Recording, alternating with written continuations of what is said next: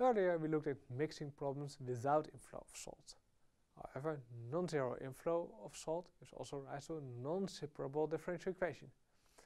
However, this resulting differential equation turns out to be linear, so we are now able to solve the mixing problem also with non-zero inflow. I will do so in this video. So, let's uh, uh, revisit the mixing problem. We had dv dt equals rate in minus rate out, some given initial volume in our tank. We had dmdt equals rate in times c in minus rate out times c out. And because we are well mixed, our c out equals m of t over v of t and some initial mass. Then we have to give some numbers uh, in this explicit example. So 60 cubic meter per second as rate in, rate out 4 cubic meters per second. So tank uh, becomes fuller.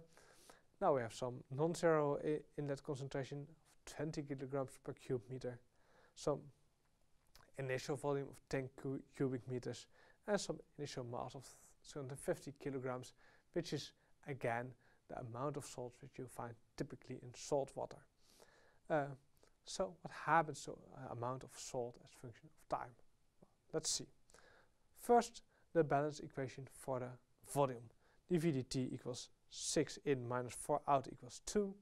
We can integrate, we get v of t equals 2t plus a constant, and we determine that constant using the initial volume of 10. So v of t equals t 2 times t plus 10. That's the volume. Mass balance is slightly more complicated. dmdt equals rate in times c in. Rate times in of 6 times c in of 20 equals 120. Well, that part is fine, of course. Minus rate out of 4, so we get a minus 4 times m, so we get our m, divided by v, and we just divide our v as 2t plus 10. So dmdt equals 120 minus 4m over 2 times t plus 10.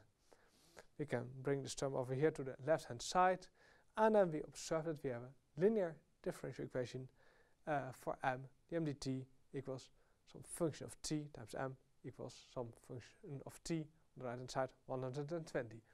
So we can use our integrating factor method. So first we have to determine our i of t, our integrating factor. So how do we do that? We have to integrate p with respect to t and put it in an exponent. Well, the uh, antiderivative of 1 over 2t plus 10 equals the 1 half times the ln of 2t plus 10 with an additional factor of 4 gives you 4 times 1 half equals 2 times the ln of 2t plus 10. Uh, and you can put the 2 over here. You really have to simplify your integrating factors whenever you can. So you get e to the power ln 2t plus 10 squared, which is of course just 2t plus 10 squared because the e and the ln cancel each other out. Third step, multiply our full equation by the integrating factor. So e times m prime plus Uh, 2t plus 10 squared times 4 divided by 2 times 2t plus 10.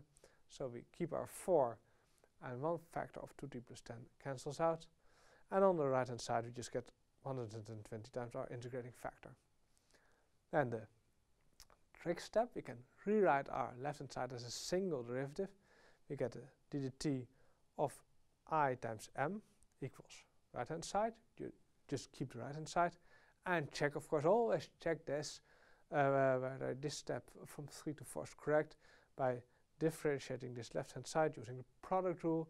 So you differentiate uh, this term first differentiate the uh, first part you get it 2 times 2 times 2t plus 10 times change factor 2 times m uh, and then you leave this part times m prime and indeed you see you get this term plus that term so the step is correct.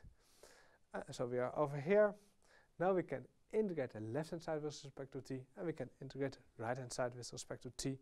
That's what we do over here.